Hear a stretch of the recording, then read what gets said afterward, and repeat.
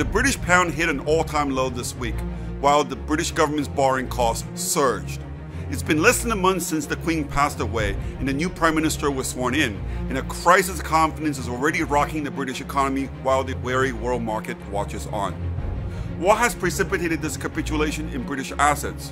Why the crisis in the UK may be a harbinger of what's to come elsewhere? What does it mean for your money?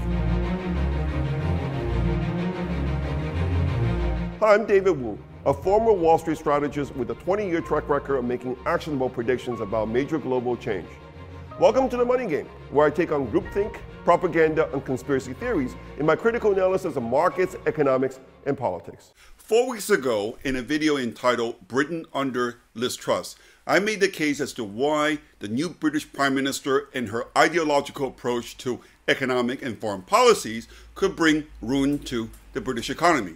I have to say, I'm not too surprised by what's transpired since. Nevertheless, I've decided to come to London to find out what really is going on on the ground.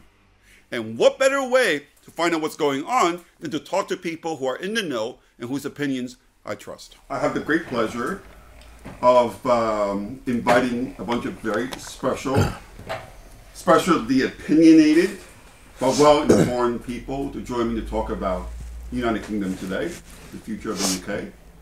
And um, they're all, each in their own way, very successful. But most importantly, they're willing to actually come and share their honest perspective. And by the way, they come from different walks of life. So from that point of view, we hope to basically really get a, a holistic view of what really is going on. To my left, we've got Tara Glenn. Tara, Oxford educated engineer who manages a hundred million pound business that imports machineries into the UK. Nigel Whitaker studied economics at London School of Economics. Lon- I mean, Nigel probably is one of the most successful traders, fund managers, specialty specializing in emerging markets. Sue Rasmussen, one of the most senior women working in the city. 30, after a 30 year career as a managing director at Merrill Lynch, she recently set up on her own to create her own venture capital firm. Michael Warsh. Michael is from Texas.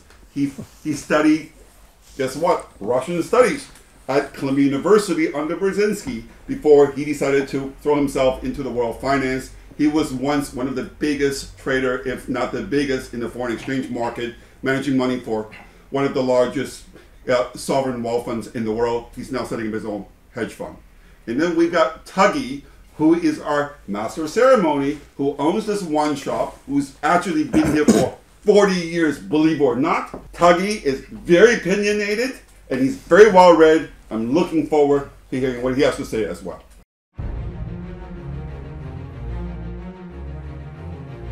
You know, the last few days, UK has been very much in the focus with the pound collapsing, with gilts collapsing. There's a sense of crisis here. I think no, that hasn't been seen for many, many years. So the question is, of course, you know, is this real? Todd, do you think the market is overreacting to actually, the, you know, the new prime minister and her new economic policies? I think they do need to give her a chance for sure. Um, running a business in the UK um, and hearing what the statement was on Friday, it's the other half of the statement that's missing so far. Um, so it's probably not a, not surprising that they reacted so dramatically. But we need, need now to see what the policies are which are going to support the tax cutting that they've announced, which we do welcome as, as a business owner. But I would like to see um, other things on the education side and skills side and productivity side. And I was disappointed that productivity wasn't mentioned and given a bigger headline. The market's not going to give you time. I think um, they've demonstrated by the announcements that they are a bit gung ho and the market doesn't like it. And it's all set against a backdrop which is very dollar positive, and that's exasperating the problem. So I think um, when I look at it and the way I've been waking up feeling in the morning, from a trader's point of view, my gut feel tells me we're in trouble. biggest difference now than say 30 years ago is that if, if you had to pick one central bank in the entire developed market universe that is ill-equipped to handle this crisis, you would be hard-pressed not to pick the Bank of England. Why is that? It's not because they're incompetent or they don't know what they're doing. It's because their messaging has been very poor. I'm choosing my words, you know, care- carefully. Uh, I could be a little more dramatic with the language, but they have given the market several head fakes. They have um, the market lacks confidence in their ability to act decisively, and decisive action is what it would be needed, and it's probably what Liz Truss and I'll call him KK. I love that. Have have uh, counted on. We know from the last um, meeting that there are three different perspectives on the on the committee, not two, three. They needed to make a statement. What they said was, let's just wait till the next meeting, see how things look, which is the probably the opposite of what should have been saying. They're not focused in a way that the market is is forecasting their their, their rate path. So that brings me back to to the to the UK rate path, even less so, right? So I, I looked before I came here. I think between now and end of the year, it's 245 beeps of hike, 243. Yeah, I don't I don't see that happening. Hmm. They're not strong-willed enough and cohesive enough to make those decisions on the rate path. And I think that's that's where the tire, tire can't quite stay on the road kind of thing, you know. The and one more, I said one more comment, and that, going along with that is, is that, so you mentioned 92. 92 was really the fallout from Lamont and his terrible mm-hmm. 88 decision, okay? Well, where, where did rates go? 15%. Do you think that the Bank of England can even get to 5% in this climate? I don't think so. So that that's me, but I, I think, by the way, I think, I think that's exactly right. I mean, I think for me, you know, I mean, we can talk about whether, you know, the tax policy is the right policy for the UK in the long term. I think the short term, there's no question. I think the timing is very poor. Because let's remember, UK is the only major economy right now with double digit inflation. And they just decided to basically add fat to the fire. So from that point of view, it's like, well, inflation, already people are starting to be concerned, like whether inflation will ever come down in the UK. With this amount of stimulus, it's almost certain that inflation is going to stay up for longer. And meanwhile, the economy is going into a recession, which means that the Bank of England is caught between a rock and a hard place. I mean, do you fight inflation or do you basically fight basically next recession? And I think this is why the uncertainty premium has gone through the roof in the market because people understandably don't basically don't know what the Bank of England is going to do.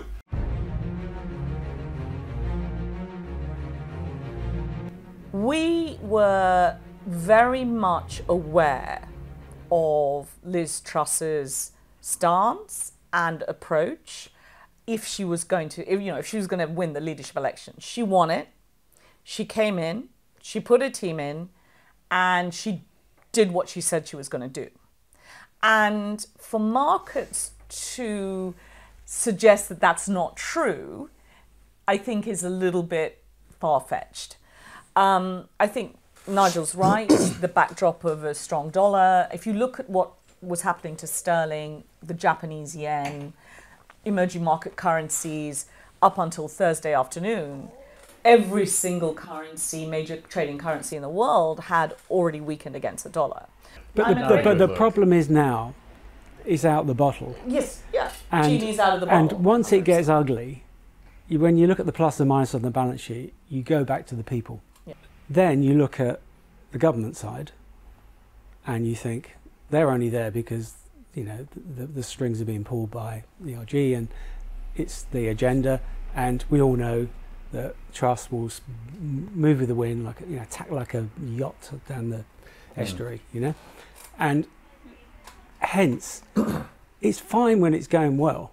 But now you've got a really tricky situation, mm. which you come back to the character and the standing and the strength and the almost emotional intelligence skills of a person to get you out of a problem. Mm. That's why I'm bearish. Because as far as I can see, they do not have it. And the price action, forget whether where the base rate's going. I was on check before I come in here. Gilt's 30 years, 5% when I walked in the door. Yeah. Okay, that's ugly. Now, you may think I'm being completely sensationalist, but that type of price action, exponential, you get to get to that point, if I was not, if I was looking at that chart and I was given the facts, I'd say next top 10. Because that's what I've seen in the past. is there is no there is no logic if there's an illiquid market. People lose confidence that the people can't sort themselves out, and the institutions are being questioned. You can't, you know, you can't poke the wasp's of inequality the way they've just done it. The interviews after he did that statement were calling everyone plodders. Okay, the plodders who do the NHS, the mm. plodders who have this job, the plod- I mean, a lot of bloody plodders. What- Where would we be without plodders? We're not all venture capitalists, or we're not all hedge fund guys, and all investment bankers. You can't belittle people. And I, did, I was looking at strike action because I grew up in the, I lived through the 70s, went through the whole shooting match, and you know there was w- that one year where 30 million working days were lost to strike strike mm. action in one year, the w- winter of discontent. We haven't even started here yet Yeah, I because that's fair, people are going to get pissed, you know.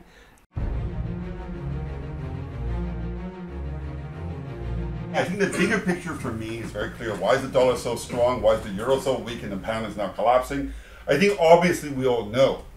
The main reason is because of the economic sanctions against Russia, right? We all know that Europe has signed up to America sanctions against Russia, and there's no doubt the sanctions against Russia are hurting Europe much more than it's hurting the US because US is more or less interdependent. The war is very far away. You know, Russia is barely a trading partner for the US, whereas Europe, Europe is dependent on Russia for its energy. You know, UK, you know, Germany, you know, Russia was a major market, and now basically the Russians are completely gone. Putin, by mobilizing his reservists last week, is basically telling us he's taking all gloves off. And there is no doubt, it's very clear in my mind, people are delusional in thinking that the Russians are going to be defeated tomorrow and the war is going to be over. So, what the Europeans have yet to really accept is that the longer this war goes on, basically Europe is going to be the biggest loser in this, especially Brexit. British are probably the most talented, most accomplished people in the world. You know, and I thought that I supported Brexit because once UK breaks out from EU, it can go its own way, it can do whatever. But Britain has to make friends with the rest of the world in order to maximize the opportunity of Brexit. Now it's like UK is basically fighting war with friends with EU over the Northern Ireland Protocol. It's fighting, you know, Truss wants to designate China as an official threat to British national security. Britain is leading the call to destroy Russia, you know, as a result, all of a sudden, what? So where is Brit- how is Britain going to grow its export? Exporting more to Australia and New Zealand? These are small countries. You know, there were for 20 years, Great Britannia, London deregulated its financial industry. All the bankers came here, and you know, a lot of people made a lot of money, driving up house prices and so on and so forth. And while that lasted, was great. And then Britain said, you know what, we reject that basically business model. We're now going to give up, okay, you know, London as the center of finance for Europe. In exchange, we're going for Brexit. And now the whole basically slew of changes that adjustment that Britain will have to go through to make Brexit a success mm-hmm. is actually a very, very long term process. And I don't only anybody basically thought it through, and so far 25, 25 years. it's 25 years. But you know the what- question is, you know, are we going to end up in a good place in 25 years? Maybe we will, but maybe we're going to end up in a bad place first before we get up to a good place. Well, of course you know. we will, because there's always that, you know, well, it used to be six, seven years, that cyclical up and down. As say, at my age, nearly 60, trust me, I've been through quite a few of them. Yeah. You're a big importer, okay? Now, sterling has collapsed, which means that your cost of imports going up. How are you able to are you able to pass on the higher costs onto your customers?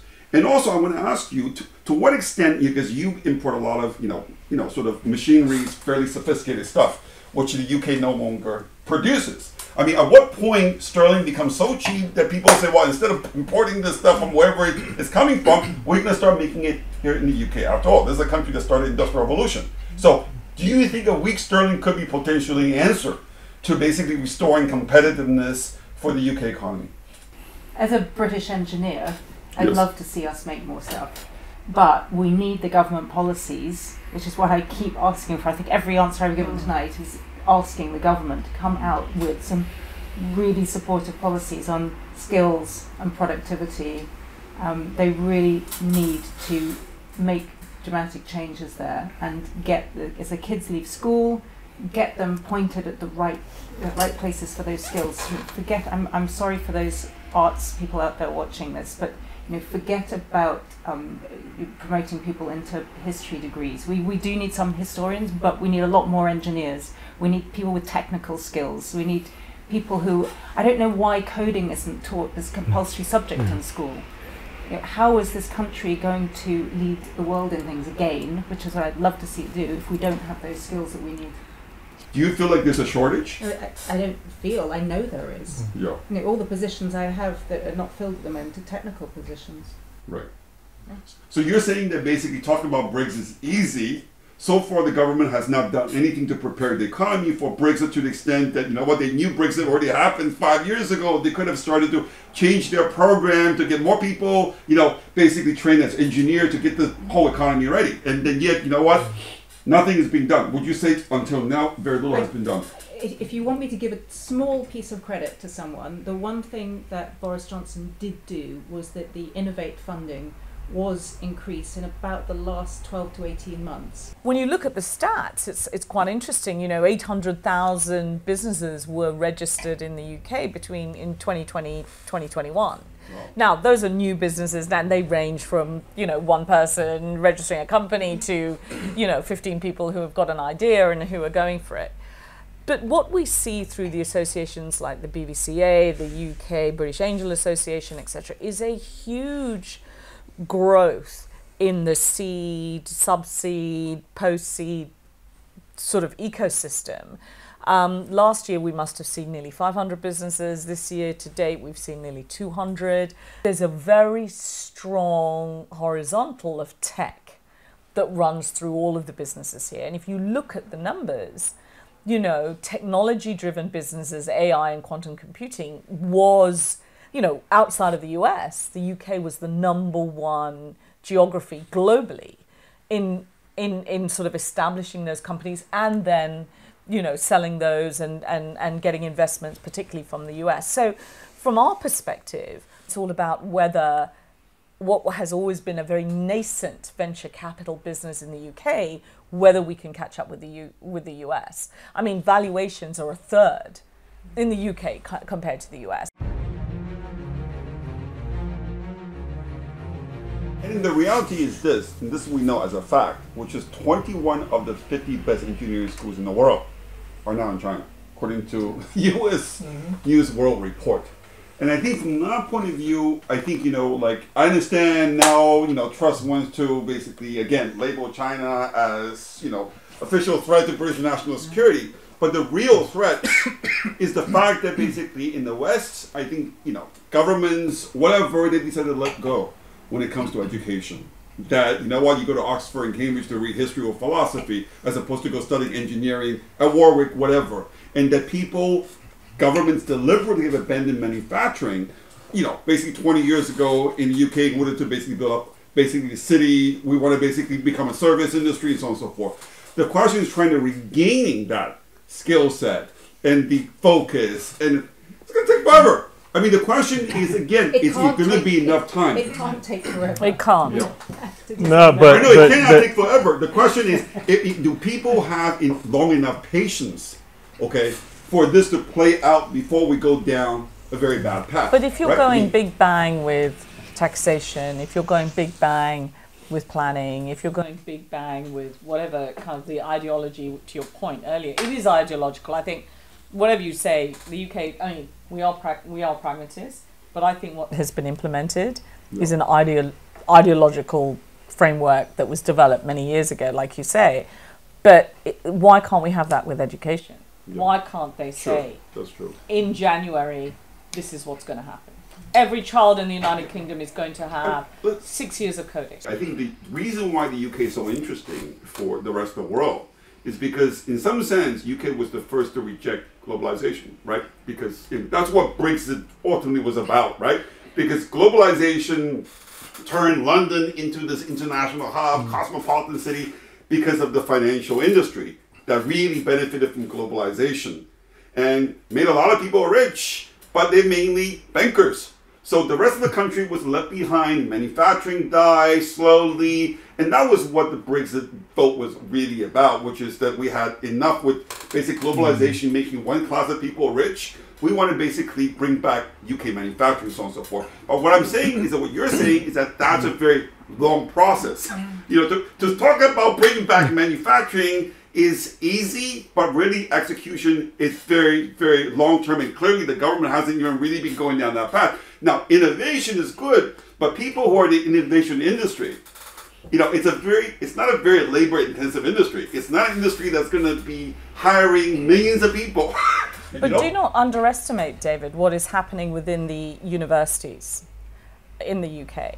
I mean, there are hubs, which are you know led by Cambridge and Oxford. We know that that's well documented, and then but but that is now spreading throughout the UK. So, for example, in the south of England, um, the seven major universities, you know, Exeter, Bristol, Plymouth, Southampton, the the, the, the big seven have got together to make their own VC fund called SETsquared, which is based in London, and they are raising capital to push into the universities, into these eco labs, where students, you know, postgrad students, final year students are coming together to innovate. You're right. It's not a huge, um, you know, employer of, of people, but if we're talking about skill base and technical innovation, it is happening at grassroots level. Probably not fast enough, Tara, from, from what you were no, describing. Not, not fast enough, and I also um, the, the, the education piece is, is massive. Yeah um, because I also struggle with the, the number of foreign students that there are in the UK. Absolutely understand the economics behind it, and I also understand the, if you like, the diplomacy behind it as well. And it's great if, if people want to come and be educated here and, and, and in, end up enjoying our country. But they're taking up places that the British students can't then take up. Mm-hmm. And no one in government's even started thinking about it's, it. It's an even bigger problem in America. You have 350,000 uh, Chinese students in American universities, for example, many of them taking spots that would not go to uh, Americans, and you have to ask yourself, like, really, why? I mean, I think I think that that's that's the the real conflict. This is I think this is why you know Truss and Meloni and uh, people have come into power, and why I think there'll be a regime shift in America at the in the midterms and in the 24 election because people have seen the globalist, you know, more aware, you know, well, you know, you know, they've seen that and what it's done to the countries and their competitiveness and putting effectively putting your own people second, and when yeah. which is suicide in the end, mm-hmm. unless you're a real globalist who believes that that's what we should be doing.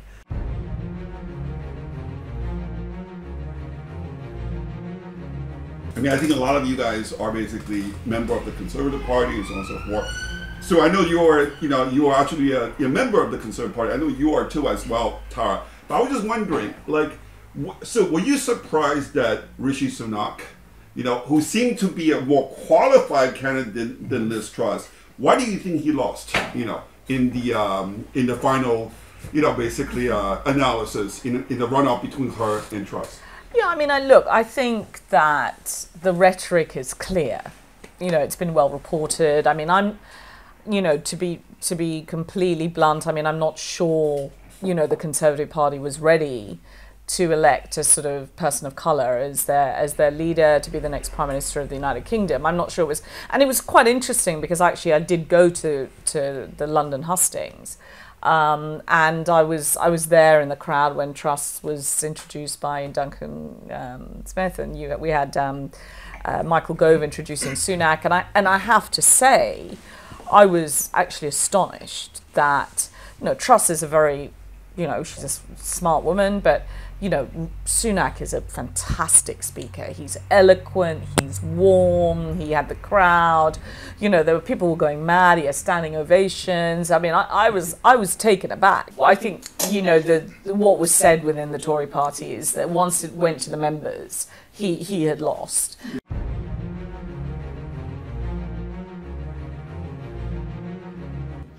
Jackie, are you here? Where's Jackie? I think she was, she was going to be here. Donald Trump was very enthusiastic, but you know what but Britain was not out of the EU yet, so the, they couldn't officially start basically uh, negotiation of free trade agreement with the U.S. Yeah. until Trump basically actually left office. Now, would you say why do you think Biden is holding out on basically on the UK? All I know is that the first conversation Biden had with Truss, he scolded her and said, "Don't you basically even Yeah, so- try to throw out the Northern I- I- Ireland basically I- protocol?" I mean, from that point of view, is there any chance, basically, you know, that that that, that, Yeah, that Biden, I- the I- Americans, are going to give her a gift? Okay, a free gift. Yeah, no, I, out? I, I think like um, no chance, and I'll say why. Because uh, there are two reasons. One, because Biden has this kind of he's harking back this kind of faux Irish heritage thing that a lot of Americans, as you know, probably you know they they've never they don't you if, know they, if they have an Irish Terrier, they think they've got. yeah, Irish exactly. Terrier So, so. Biden has hearkened. His, he talked about his mom a lot and his mom's family and the whole thing. So that's number one, which is why he was very glib in the beginning about the Northern Protocol and things like this, and you know, in sticking his nose into areas he probably sh- shouldn't be sticking it into. So that's number one. Number two, though, is that is is is the fact that my my observation of the Biden administration is that from day one they have been determined, almost uh, just like like crazy people, uh, obsessively to go against everything Trump. Everything Trump. Trump would have done this deal. They're not going to do it. Trump wanted to have, have energy independence. They've been waging war against against oil and gas since day one when they closed Keystone and issued 18 different executive orders saying you can't do this, you can't uh, uh, drill on you on federal lands, you can't have new pla- all this stuff, right? So I think those two reasons are why you won't get it. And it's also not on his priority list. It's certainly, and I, by that I mean it's not on the priority list of Susan Rice and of Ron Klain and the people who are actually behind the Obama people behind the throne, so to speak. Um, that's actually a great topic. How will relations be the UK, special relation of UK and US going forward? I would say they can be quite crappy. Okay? Biden and his group will have no interest in engaging meaningfully with a what they see as a neoconservative, anti-globalist, right-wingish, you know, Truss in her and her and her ilk, you know, as they No, would but she's doing. they the don't di- care. but she she's doesn't doing care. the dirty work for the U.S. with Russia, I think, in, in many ways, because the U.S. is quite Yeah. far away. No, Boris did the think- dirty work. No, no, he and started she for and she's kind of inherited no, this. she, but she's not going to back away no, from she that. won't So because the U.S. they're, is they're very. too committed. They've got Yeah. But- but they've got five billion dollars exposed. I agree, I already. agree. mean,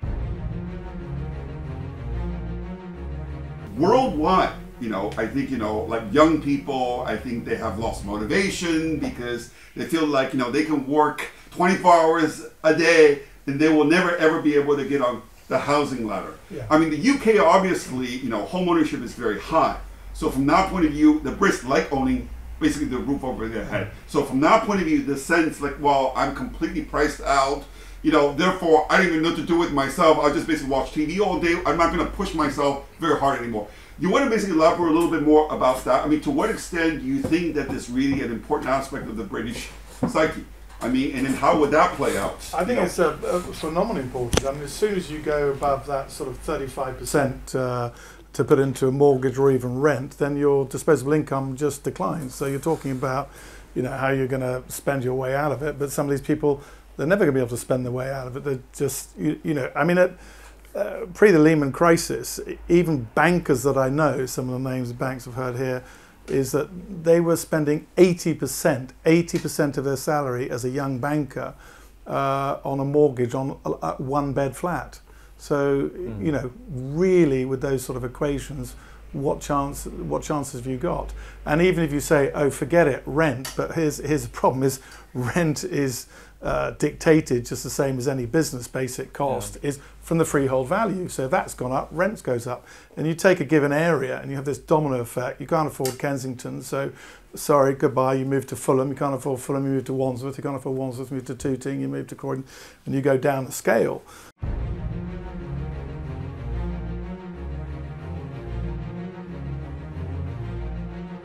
I have to ask one final question around the table, right? I mean, for me, I, I you know, listen, I never thought, you know, I, I never thought I was gonna love the Queen the way I did.